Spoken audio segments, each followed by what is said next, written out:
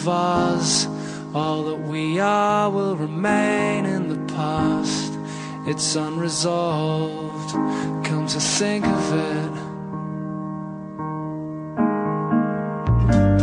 Stood by the bed